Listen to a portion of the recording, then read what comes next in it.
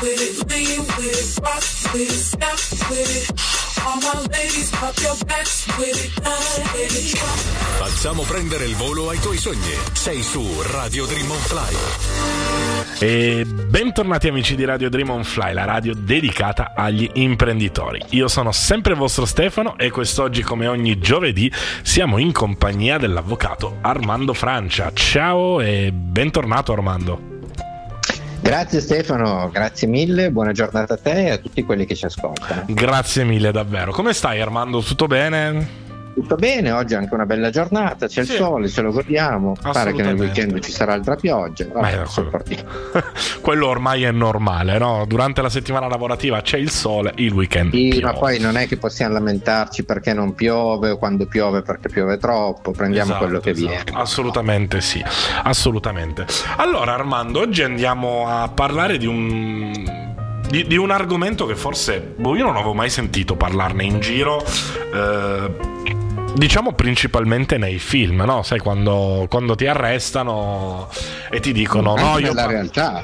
Eh, non l'ho mai sentito. Cioè, boh, meno male che non l'ho mai sentito in verità. e parlo solo in presenza del mio avvocato, qualcosa del genere, Eh, no? bravo. Sì, è l'interrogatorio, no? Esatto. Esatto. L'interrogatorio. L'interrogatorio. L'interrogatorio della persona sottoposta alle indagini, cioè l'interrogatorio dell'indagato, Sì, oppure dell'imputato se quello avviene nel processo. ecco. esatto. Faccio una piccola premessa. Vai. Non è un istituto che a me sem- piaccia particolarmente, Ok. perché vedi, con l'interrogatorio sostanzialmente l'accusa, cioè il pubblico ministero, vuole cercare degli elementi di colpevolezza. Sì, Quindi se io confesso, no, mi credono, di solito mi credono. Se io invece racconto che quel giorno ero, che ne so, a casa a dormire, nessuno mi crede. Ah, cioè, cacca, ovvio. E allora è sempre un istituto che a me, ma credo in generale agli avvocati, non piace tantissimo, Mm, proprio perché tende a cercare la colpevolezza di quello che tu difendi. Ok. E allora spesso e volentieri uno consiglia al proprio assistito di, come si dice, avvalersi della facoltà di non rispondere, così si fanno pochi danni. Ok. Perfetto. Questa è la premessa iniziale. Eh, so, assolutamente sì. Però, cioè, eh, quanto è importante veramente la figura di un avvocato durante un interrogatorio? E, cioè, che cosa fa Guarda. poi durante? Guarda, è, è importante prima dell'interrogatorio. Ok. Se- se- allora, diciamo così, se il cliente vuole rispondere, ovviamente, no? Sì, Se no sì, è sì. molto facile, dura due minuti e via. Se il cliente vuole rispondere, è molto importante prima, perché bisogna ovviamente preparare il cliente a rispondere alle domande del pubblico ministero, della polizia giudiziaria. Ok. E allora bisogna agire un po' di fantasia e pensare a tutto quello che potrebbe venire fuori nel corso dell'interrogatorio, appunto, e quindi le domande che potrebbero farti Quindi sostanzialmente programmare già una sorta di, di risposta. di risposte. tendenzialmente favorevole, no?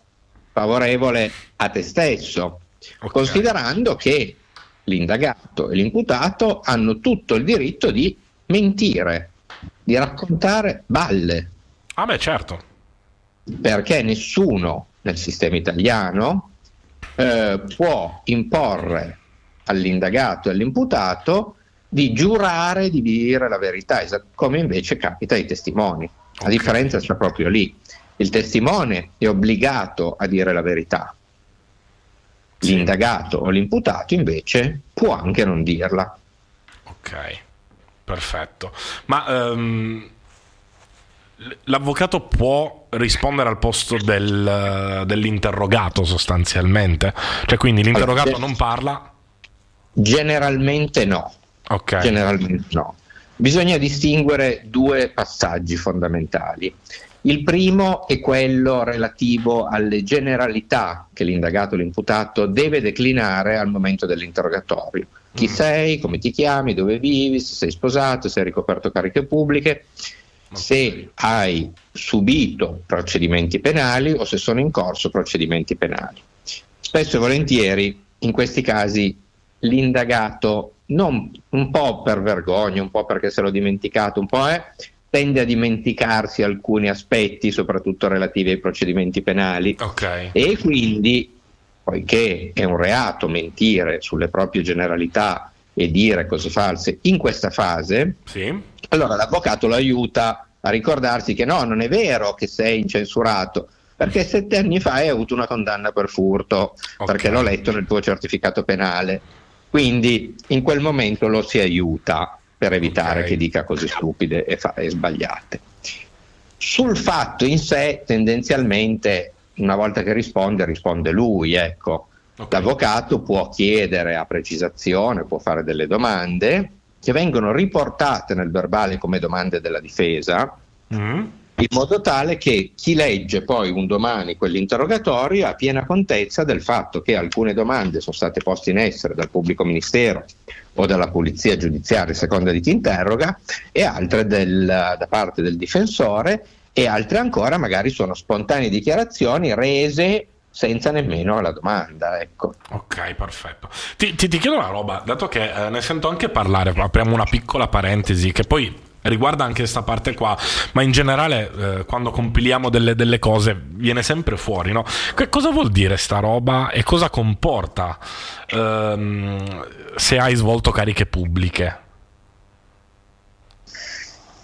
Cariche pubbliche sono sostanzialmente quelle elettive, quindi sindaco, assessore, Ok, eh, se vuoi aggiungere anche che sei alle dipendenze del comune di Pinco Pallino, va benissimo, ok, o della regione o della provincia di eh, o della città metropolitana, quello che è, Sì, sì, sì, o quello Ecco, sì, lo sa- lo le sapevo. cariche pubbliche però di, di regola sono quelle elettive. ok.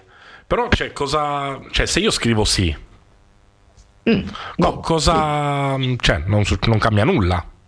No, non cambia nulla. Ah, ok. Beh, dipende per co- perché, No, vabbè, perché ti adesso hanno fatto faccio- quella domanda. Facendo ecco. parte del adesso parlando di interrogatori e, roba varia, no?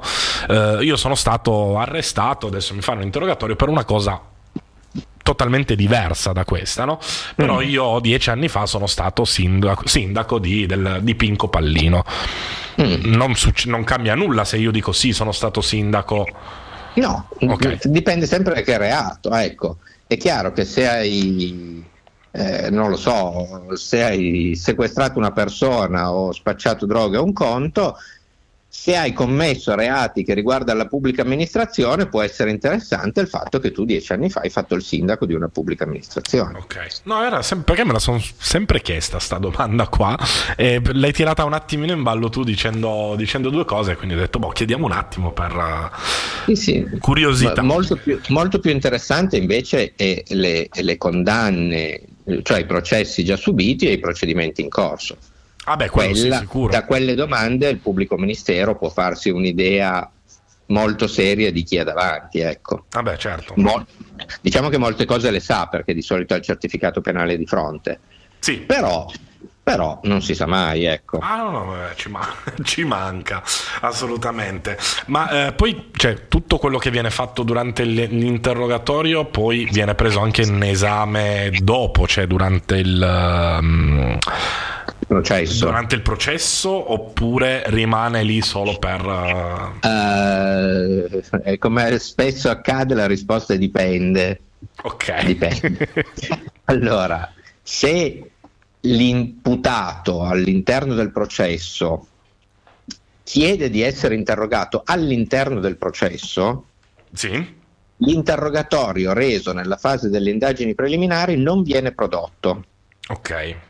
Ma può essere utilizzato sia dall'avvocato che dal pubblico ministero per fare delle domande. Ti faccio un esempio. Ok. Ehm, durante il processo, Tizio, imputato di furto, dice che quel giorno stava dormendo. Sì. Però due anni prima, quando è stato interrogato dal pubblico ministero, ha detto che quel giorno era a Milano e non a Torino. Ok. Quindi ci sono due versioni diverse di Tizio. E allora l'avvocato il pubblico ministero chiedono a Tizio: Ma scusi, lei due anni fa ha detto che era a Milano, oggi ci dice che invece era a Torino e dormiva. Qual è la versione giusta? Ecco, queste si chiamano contestazioni e Sì. servono al giudice per capire l'attendibilità della persona che ha davanti. Ok. se racconta la stessa verità raccontata nel corso dell'interrogatorio e quindi nessuno fa contestazioni, allora diciamo così, ha una parvenza di credibilità, al di là dei riscontri poi che ci potrebbero sempre essere. Certo. Se invece due anni prima ha raccontato una verità alfa e adesso nel processo ci racconta una verità beta, a questo punto anche il giudice dice, bah, credo allora, credo adesso o non gli credo per niente. Ecco. e quindi è, è per quello che l'interrogatorio ogni tanto è controproducente, perché cristallizza delle dichiarazioni rese magari nell'immediatezza dei fatti o cose del genere senza averci ben pensato e che poi è difficile rimangiarsi, ecco. Ah, no, beh, cioè, è ovvio. Eh sì, dice, ah no, mi sono sbagliato, ma come ricordavo due anni fa nell'immediatezza dei fatti lei ricordava una cosa e adesso ne ricorda un'altra a distanza di tempo, eh, vaglielo spiegare poi che registra la seconda. sì. eh, non è facilissimo. No, per... non è facilissimo. No, però è particolare, cioè, non so perché, ma sono curioso di, di assistere ad un interrogatorio. sì, ma non è niente di speciale, almeno eh, io nella vita ne ricordo due o tre particolari. Ok. Ricordo invece, ricordo invece in modo molto fastidioso una riforma di tantissimi anni fa, credo il primo governo Berlusconi. Mm. Non c'era nemmeno il nuovo tribunale a Torino, c'erano ancora tanti uffici sparsi okay. per la città. E questa riforma prevedeva l'interrogatorio obbligatorio dell'indagato nel corso delle fasi delle indagini preliminari. Ah. Cosa succedeva? Io all'epoca ero un giovane, giovanissimo avvocato mm. e, e avevo le difese d'ufficio che, che sarebbero? Cioè, volentieri erano stranieri, erano gente così che non, non poteva permettersi un avvocato, ah, okay. gente che viveva in mezzo alla strada e tutto, però dovevano fissare l'interrogatorio e quindi tutti, oh, non dico ogni giorno, ma due o tre volte alla settimana andavi in questi uffici, diciamo così, zona quadrilatero. Sì a fare degli interrogatori, poi dopo un quarto d'ora, 20 minuti che questo non arrivava, perché magari non sapeva nemmeno dell'interrogatorio, magari non aveva capito quello che c'era scritto nell'avviso, grazie, arrivederci, ci si salutava e buonanotte. Ah. Non era nemmeno un tempo in cui il cellulare era così diffuso, quindi era difficile eh poi sì, recuperare. Più... Esatto. E, e si perdevano veramente i pomeriggi. Io ricordo in via Bonelli, mm. via Bonelli e lì nel quadrilatero, che c'era un ufficio di polizia giudiziaria dove fissavano sempre gli interrogatori e spesso e volentieri si andava, poi dopo un po' abbiamo imparato a telefonare prima, ecco. Invece, invece di aspettare tu facevi aspettare il cliente. È arrivato? Sì, allora arrivo anch'io. Eh no, certo. Ecco. e... Beh, non, non, la sapevo questa cosa qua. Ora, ora non sì, è. non è durato tanto, eh, eh, poi si sono resi conto che era una cavolata immane perché allungava a dismisura i, termi, i tempi processuali, eh, ingolfava tutta la procedura, c'erano poliziotti, carabinieri che passavano le giornate a farsi interrogatori inutili. Eh, voglio dire, se io, ti, se io poliziotto ti vedo rubare una mela, non è che devo interrogarti per sapere, adesso faccio l'esempio. No, no, certo. Cavolo. Però non è che devo interrogarti per sapere se tu quella mela l'avevi rubata o, no. Ecco, ti mando a processo e buonanotte. Ok, ok. No, è non, particolare anche questa cosa qua che era obbligatorio prima. Meno male che relativamente non lo è, non lo è più adesso. E quindi... No, non lo è più adesso, ma, ma è stato veramente per pochi mesi. Eh. Mm, non so se ha fatto l'anno quella, quella riforma maledetta, okay. però l'ha fatta proprio nel periodo in cui io ero ragazzino, veramente, avevo tante difese d'ufficio e, e così mi, mi, toccava andare a fare questi interrogatori. Ah beh, capitano, capitano, queste cose qua. Ma, eh, Però cioè... allo stesso tempo ho trovato all'epoca tantissimi clienti così. Eh. Ok perché ah bravo avvocato che sei venuto ah, boh, boh, boh, la prossima volta ci vediamo in studio ah beh buono si inizia così. Almeno una volta si iniziava così adesso non lo so. È relativamente buona allora questa cosa. Sarà dieci anni che non ho più le difese d'ufficio quindi. Ok ok. E anche quella magari no, non so se si riesce a fare un podcast ma sono curioso anche di capire come funziona la difesa d'ufficio. Sì certo certo, eh, certo. Ogni tanto, sai, mentre parlando comunque le idee vengono, no? E quindi, e quindi ci sta che andiamo Ma pensavo mi chiedessi della lampada in faccia con la luce accesa all'indagato. No, vabbè, ma quelle... Allora, cioè, L'idea c'era anche di chiederti se poi relativamente sono previste anche delle torture, chiamiamole così, un po' in che generale. però no? la- il codice di procedura penale Mm, disciplina il fatto che non si possono usare queste brutture, perché dice che la persona sottoposta alle indagini non- nei, suoi, nei suoi confronti in sede di interrogatorio non possono essere utilizzati neppure con il consenso della persona interrogata ok. metodi o tecniche idonee a influire sulla libertà di autodeterminazione o ad alterare la capacità di ricordare e di valutare i fatti. Quindi, cosa significa? Che nel nostro ordinamento è vietato la lampada in faccia, l'ipnosi, è vietata il, ehm, come si dice, il pentotal, il Sì. siero della verità, tutti quegli aspetti che possono in qualche modo influire sulla libertà del soggetto di ricordare in modo autonomo un, un determinato fatto che lo riguarda. Ok. No, vabbè, cioè, non, Sì. non- non te l'ho chiesta perché immaginavo che non si potesse fare. Sì, però attenzione, eh, è vero che non si fa, ma non si fa anche perché c'è un legislatore che ha pensato di dire che non si può fare. Ah, ok, No. non è per... Cioè, non- Ecco. È, è stato Così. detto perché è sta- è non si fa perché è stato detto, non perché non è molto Non- umano. eh, chi lo sa se non fosse stato detto cosa sarebbe successo. Eh no, ma Ah. poi chi, chi lo Eh, sa che non viene fatto ancora? Poi io non so se è, è veramente così.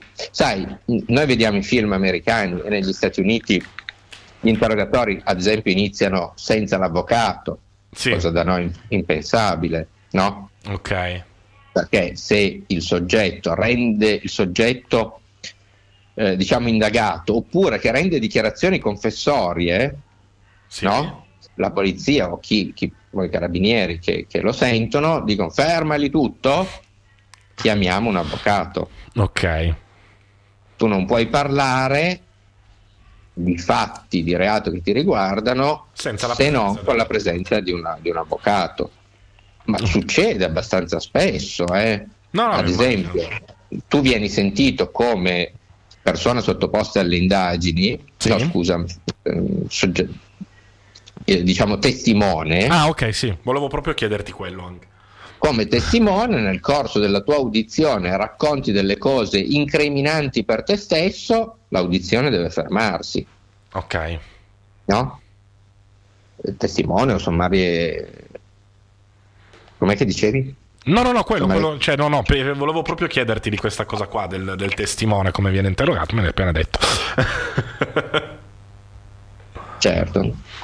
ok, ok, no, è interessante, particolare.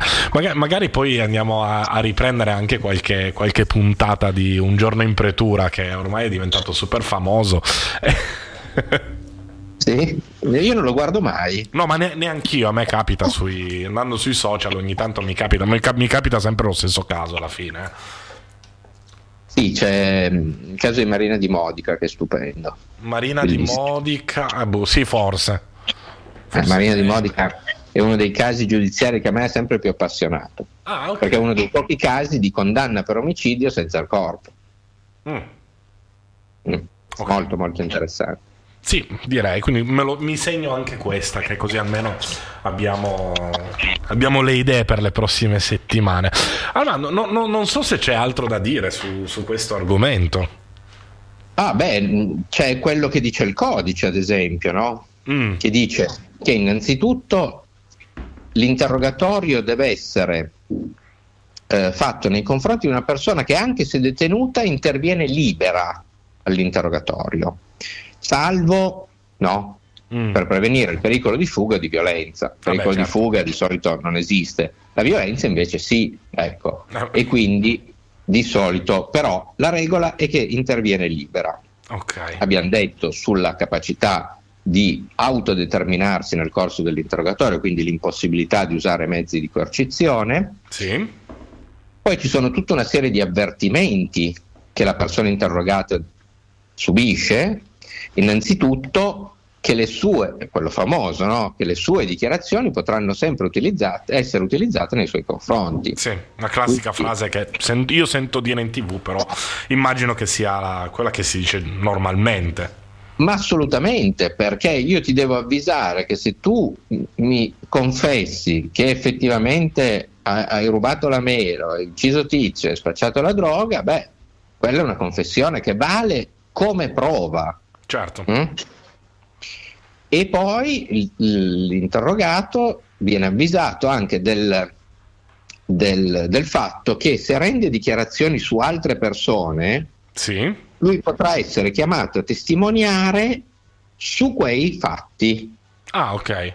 Quindi se tu dici sì, io è vero, ho rubato quella macchina e con me c'era Armando Francia, quindi no? io posso essere chiamato non è che te la cavi così, no. Verrai a processo sia come imputato, no? Sì. Sia nel, nella tua chiamata di correo, come si dice, nei confronti del tuo complice. Mm, ok. Eh, vabbè, lì è, diventa una bella, un, bel, un bel giro viene fatto poi. E quindi e poi ci sono le regole proprio dell'interrogatorio, per cui l'autorità giudiziaria contesta alla persona in forma chiara e precisa il fatto che le è attribuito, quindi ti interrogo per quel furto e non okay. per quell'altro. Le rende note gli elementi di prova, guarda che ci sono sei persone che ti hanno visto rubare la macchina, cosa vuoi dirci? Come per dire, ti conviene confessare che magari esatto. ti prendi anche le generiche. No, sì. e, e te la cavi meglio. Se invece mi dici che quel giorno appunto dormivi, forse non fai una gran figura. Ok. Eh, e quindi invita la persona ad esporre i fatti utili per la sua difesa. Ok? Ok. Se uno si rifiuta di rispondere, cioè si avvale della facoltà di non rispondere, allora a quel punto si fa il verbale di un minuto, una riga, dove si dice guarda io mi avvalgo della facoltà di non rispondere e quindi si va tutti a casa. Ecco. ok, ok. E eh beh, anche questo è un bel... Un bel sì, poi, poi, succedono le cose più, più, strane. Io ricordo un fatto di tanti anni fa, facciamo, facciamo come le persone anziane che ricordano le cose passate e non quelle recenti.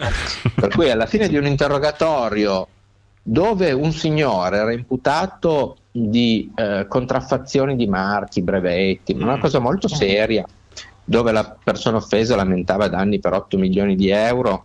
Però. Il poliziotto alla fine mi fa avvocato, il suo cliente è spacciato e poi è stato assolto e quella è una grande soddisfazione. Ah, ok.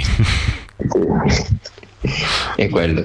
Così come ricordo una volta che sono andato a un interrogatorio per una persona e mi sono ritrovato il pubblico ministero e credo sei o sette poliziotti con due registratori, sembrava veramente una roba di, di mafia. Mamma mia! Io, io, che credevo fosse una roba piccolina, invece ogni tanto. Eh beh, capitano, no? quando meno te l'aspetti ti ritrovi poi anche. Eh, ogni tanto capitano, sì. E mi ricordo benissimo cose. chi era il pubblico ministero che poi è assurto anche agli onori della cronaca un mm. po' più avanti. Ok, ok, tanto noi non facciamo mai nomi, quindi. Ma no, non è il caso. No, no, no, ma per, per, per, sicurezza, per, per, correttezza non li facciamo sempre. Bene, allora Armando. C'è ancora da dire sì, una dimmi, cosina, Ah, ok, vai. Cosina, solo per concludere l'argomento certo, sotto il certo. profilo del diritto, ci sarebbero tante cose da dire, ma noi ne diciamo solo più una, che è l'interrogatorio di garanzia. Allora, abbiamo detto che l'interrogatorio non è un obbligo per l'autorità giudiziaria procedente, cioè per il pubblico ministero, okay. nel senso che lui uno può essere portato davanti al giudice, quindi a processo, senza essere interrogato. Sì. Okay?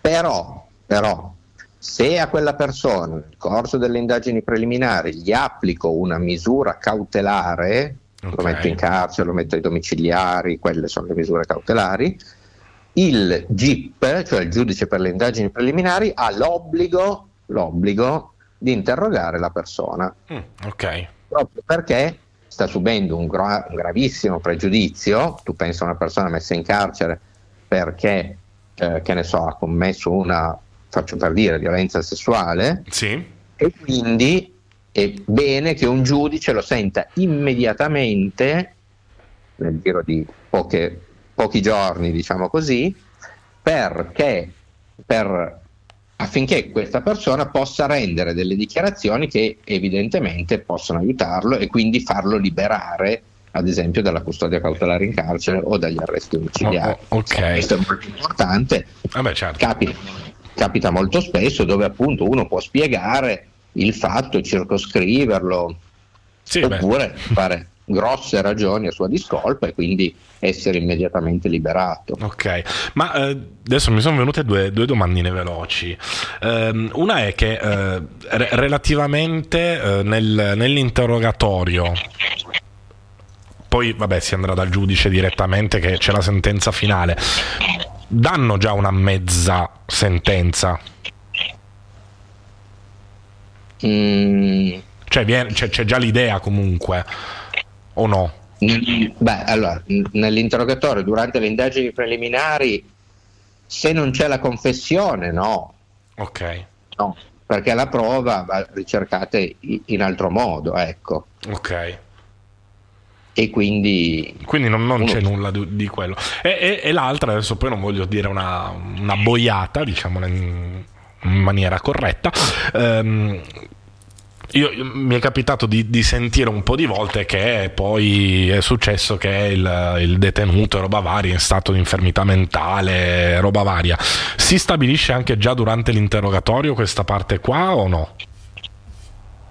ni, Ok, eh, nel senso che per stabilire se una persona era capace di intendere di volere al momento del fatto occorre una perizia ok, fatta da uno psichiatra di solito. E quindi nel corso dell'interrogatorio può capitare che arrivi pubblico- un- uno psichiatra anche o no? No, il pubblico ministero, sulla base delle risposte, che ne so, ehm, uno inizia a urlare, a ridere come un matto, ehm, a comportarsi in maniera, diciamo, non consona. Sì, E allora il pubblico ministero, e, e di solito l'avvocato che glielo dice, guardi, non, non ci sta tanto con le rotelle a posto, e allora il pubblico ministero può chiedere una perizia per capire lo stato Ok. di mente, quindi la capacità di intendere e di volere del soggetto al momento del fatto e la sua capacità eventualmente di affrontare il processo, perché Ok. poi bisogna guardare anche quello. Ok, perfetto. No, pi- piccole curiosità mi sono venute mentre, mentre dicevi le ultime cose. Boh, chiediamole, anche se magari Però ecco, fuori, però. dall'interrogatorio non è che il pubblico ministero o il poliziotto o il giudice può trarre di per sé un argomento per dire questo è incapace di intendere Ok. di volere, no. Può trarre degli elementi da qua- dai quali eh, chiama uno psichiatra che fa una perizia e grazie alla perizia viene, questo stato eventuale di mente viene accertato. Ok, ottimo. Allora Armando, siamo giunti alla fine anche di questa nuovissima puntata. Io ti- ovviamente ti ringrazio, ringrazio anche tutti i nostri ascoltatori e ci vediamo, ci sentiamo settimana prossima. Perfetto, buona giornata Stefano. A te, ciao. Ciao, ciao a tutti. Facciamo prendere il volo ai tuoi sogni. Sei su Radio Dream on Fly.